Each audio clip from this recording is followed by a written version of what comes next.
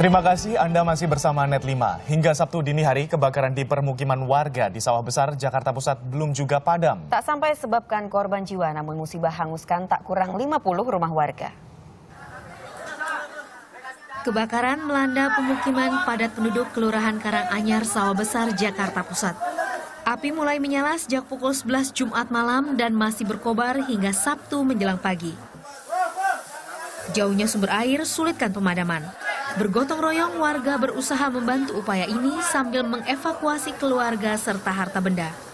Ini kita sedang proses pemadaman dan sudah koordinasi dengan pihak pemadam kurang lebih sebanyak 20 mobil pemadam dan mungkin akan ditambah lagi. Belum diketahui pasti penyebab dari musibah ini. Tak sampai sebabkan korban jiwa, namun kebakaran hanguskan sedikitnya 50 rumah warga. Natasha Ishak, Lukman Nur Hakim melaporkan untuk NET.